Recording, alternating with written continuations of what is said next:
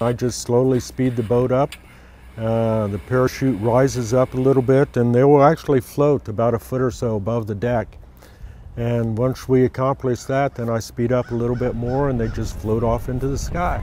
Not everyone in the Air Force gets to fly, but through the Single Airmen's Initiative program, 12 airmen literally soared above the Mississippi River. Parasailing was a first for everyone on the trip and is something you just have to experience for yourself. It wasn't what I expected. You know, I I figured I'd freak out. It, you know, being up there, you wouldn't enjoy it because you're um, you're just all nerves the whole time. But once you get up there, it's just you lay back, it's leisurely and different, very different. The trip was part of the Fall Outdoor Adventure Program, coordinated by Director Gary Green. It was free for single airmen living in the dorms and made possible by the support of the local community.